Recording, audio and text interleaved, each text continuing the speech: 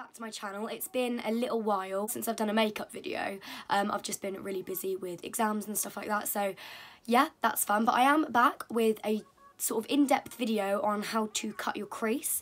Now I'm going to do a few of these, but this one is how I do a full cut crease. So we cut the crease completely full. I'm going to show you how I did this look as well. So um, yeah, let's get straight into the video.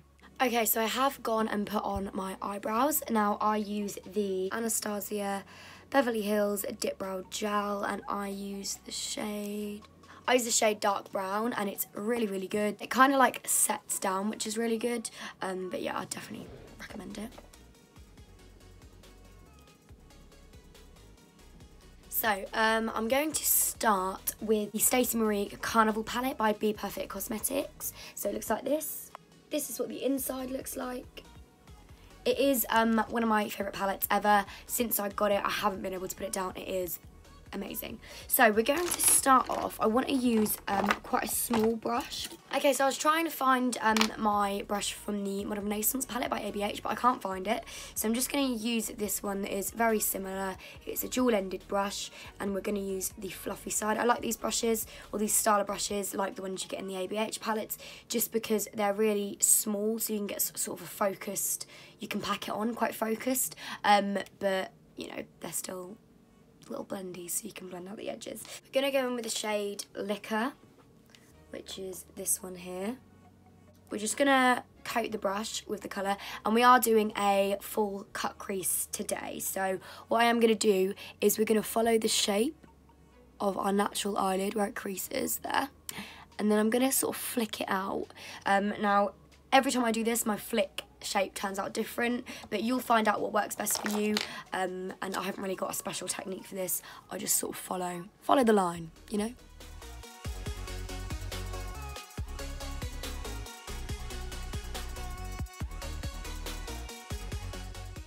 And then as you can see I'm just sort of winging this bit out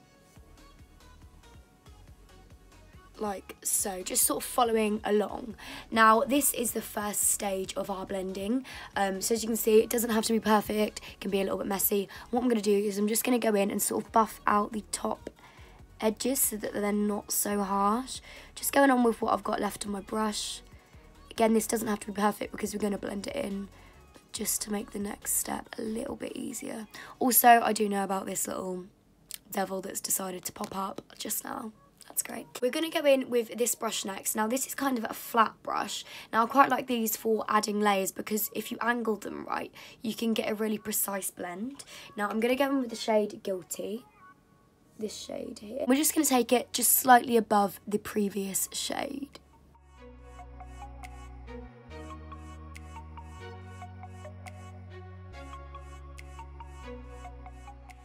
I'm just going to go in with the previous brush and just blend in the darker shade. A good trick is to make sure that this darker colour goes a little bit higher than where you'll cut your crease. This is um, about trial and error. It's hard to just instantly know this, but with your own eye and sort of learning the curvature of your eyeball, I guess, I don't know. Um, but learning the shape of your eye and stuff, you'll learn to put this darker colour slightly higher than where you'd normally cut your crease because it just makes it easier and it makes it so you can see all of the layers of colour which um, obviously there's no not much point putting this dark colour on if no one's going to see it so. Next we're going to go in with an orange shade. Now I'm going to use the shade lit which is this one here. And I'm taking this on the Morphe M433 brush which looks like this. We're just going to pack it just above the last shade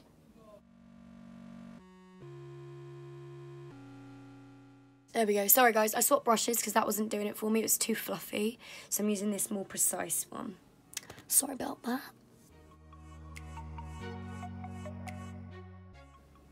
And again, we're just going to go in with the last shade and make sure we don't lose that in the midst of blending this lovely orange. You want to make sure that you can see all of the layers. I love this orange because it's like a neon orange, like red shade. It's really cool. Next, I'm going to go in with a yellow. Now, the yellow I like to use, there's two in this palette, but I like to use Shuffle because it's more of a creamy yellow um, and I feel like it just blends a little bit nicer. So I am going to take that on the same brush just because I absolutely adore this brush for blending out yellow. And we're just going to go to town. I feel like it just brings the whole entire blend together, if you know what I mean. And if you feel like afraid to blend so many colours, obviously I've blended four here today. If you feel like that's too much or you don't have enough lid space, try three or try two. Um, it doesn't have to be as many colours, you know, try seven if you've got big, you know, big lids. um, do it to your personal preference. This isn't like uh, follow this exactly. It's like take these steps and mould them to you. But there we go. I'm just going to go back in and redefine all of the layers. So I'm just going to start with the darkest one. Just make sure we've really got that there. It's not going anywhere. And that we've got the entire shape, which we have. And then I'm going to go in with the next shade. There we go. You can see we've got the blend going on. It's all happening in Blend Town. so now the exciting bit. We're going to cut the crease.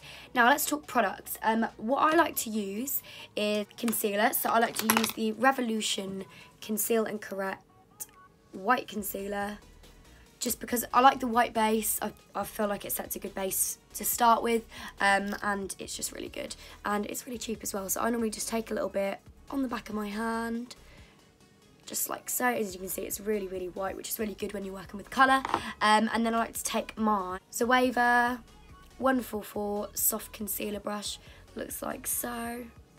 Now this is good because as you can see, it goes really thin. So you can get a really, really precise um, sort of cut with it because it goes so thin and the shape of it you'll learn to work with the curve I used to work with square brushes to cut my crease back in the day um, and then I started working with curved brushes and it just makes the whole process a lot easier. But again, you do need to know the shape of your eye, you know, to sort of get it right on your own eye. But what I normally like to do is start in the middle, then I will do the outer and the inner. I sometimes switch it up depending on how I'm feeling, depending on how it's going. Um, and another trick that I like to do is when I'm dipping my brush into the product, I like to make sure I coat both sides.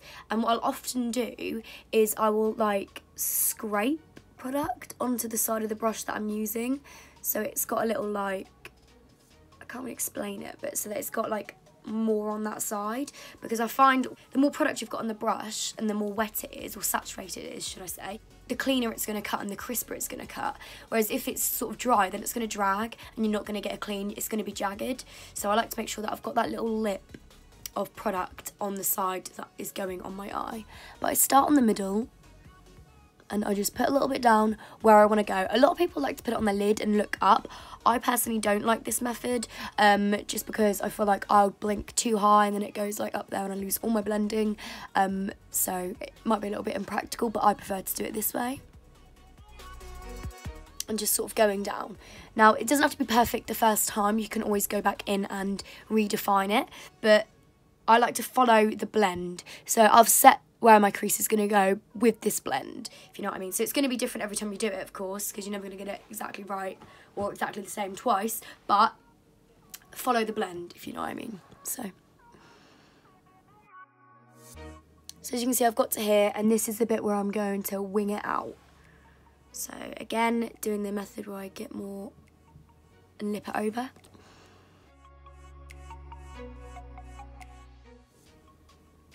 Now every time I do this it comes out different. Sometimes I've got more of a swoop, sometimes it's a bit more straight.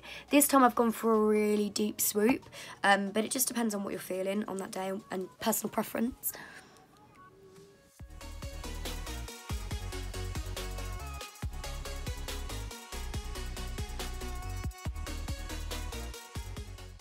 There we go, so I'm just gonna cut the inner part as well. This is the part I always mess up on, just because I can never get the shape right. I always struggle blending here as well. But again, I do feel like it is trial and error and getting used to your own shapes.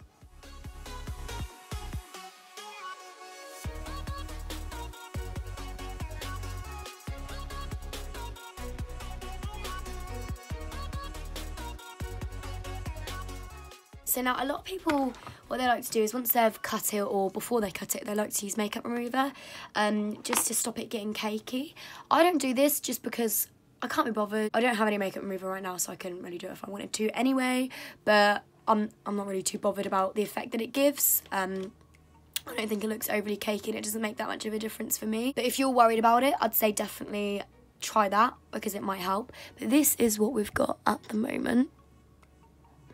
So as you can see, I have followed the cut with the blend.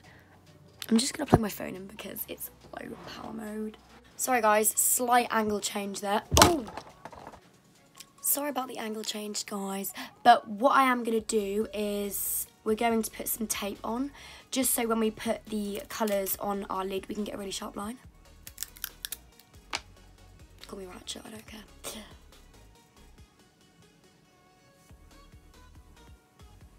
So I've put it there so I can get that really, really sharp line.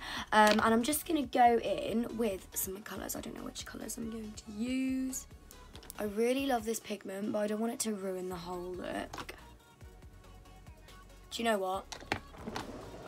We're going to do it. So we're going to put this pigment all over my lid. It's called Double Denim by Lychee XO. This is their brand. The pigments are really good. I do have a discount code with them, SCL Beauty if you guys want to cop yourself some pigments.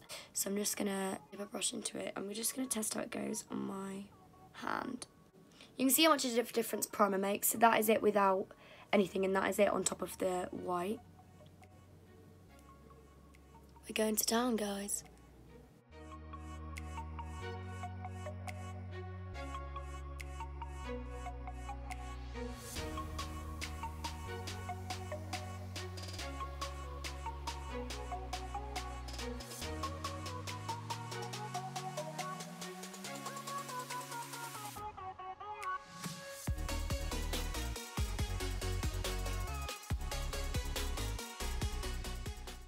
So there we go, there I am with the pigment. What I am going to do is I always leave that little gap. It's just something that I do naturally and I do it so that I don't mess up the blend. But what I'm going to do is add like a bit of gold glitter there, I think. I think that's just going to really top off the look, so... I think this is more what I'm looking for. So I'm going to take the 3D gold glitter by Lychee XO. Um, and I'm going to take the glitter primer. I'm just going to squeeze that on my hand. And what I'm just going to do is with this little brush, I'm just going to put it on that white line. So I like to do this in sections, so I've done that little section, so I'm just going to wipe the brush off, dip into the glitter, and pack that glitter on that section before it dries. There we go, so now I'm just going to carry that on across my eye, doing it in sections.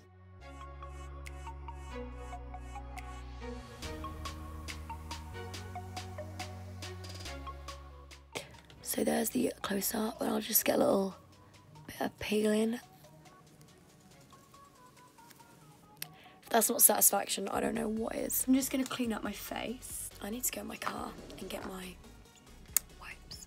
Let's believe, I just went out to my car like this just to get makeup wipes dedication. Now what I'm going to do is put on some mascara and eyelashes and then I'll do the other eye and come back. Because if I film me doing this eye, we're going to be here all day. Well, all evening because it's evening. But I have finished the eye look. So as you can see, I did it on the other eye. And as you can see, the shape has come out a little bit different because it happens every time I do an eye look. So um, this is the finished look. So what I did off camera was I added a highlight to the inner corner and the brow bone and I also added some under eye shadow, basically mirroring the same shadows that we did on top and I added obviously mascara and white in the waterline. Um, but this is the up close of the face as well.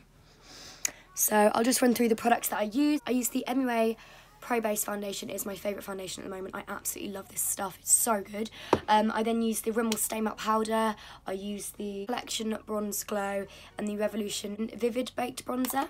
The highlight I used on my cheeks and on my, um, well, all over my face basically, is from the Carnival palette. It is the shade Sinner. It is a little bit dark for me, but um, um, when I'm on camera, it doesn't really matter so much, so I'm not really bothered.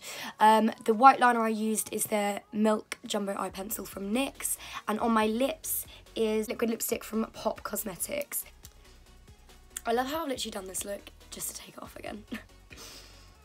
Okay, one more close up, guys. Here's the close up of the eyes.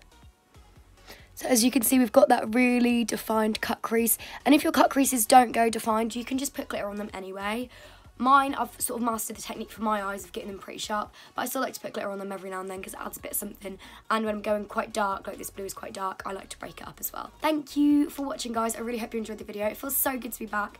I'm going to try and keep with it this time. I know I say that every time, but I am really going to try to do more YouTube content for you all because um, I do really enjoy making it. It's just finding the time that I struggle with. But thank you for watching, guys. Um, I will link any of the products and discount codes down below. Um, I really hope you enjoyed the video. If you did like the video, like, subscribe. I'll link all my socials down below as well. So go follow me and all that fun stuff. And yeah, I'll see you in the next one. Bye.